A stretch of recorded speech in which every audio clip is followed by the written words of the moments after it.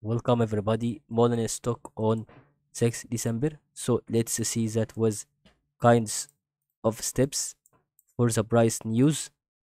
If we go for the 0 and 1 Fibonacci level, this is going to be a feedback about what we go for this price, but we can do this actually with steps. If we went for the trend line here and we see that decrease in momentum? With the, the intersection could be actually on 5 Fibonacci level here on the middle process or on the orange line. So if we said that it would go here it would give us a peak or from this part it would give us another peak on Mullen stock.